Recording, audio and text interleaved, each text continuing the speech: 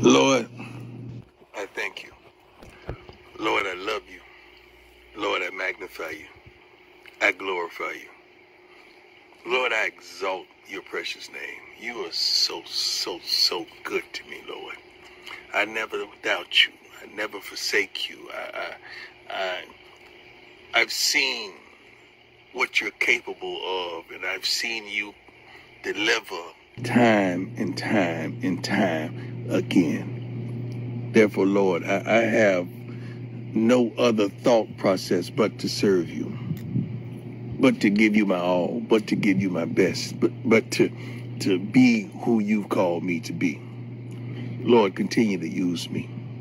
Continue to use me to challenge, to change, to to correct, to to call out. Thank you, Lord, for everything you've ever done. Lord, if you don't do another thing, you've already done enough. Lord, I thank you. I love you so much. Keep me, Lord. Guide me, protect me, surround me.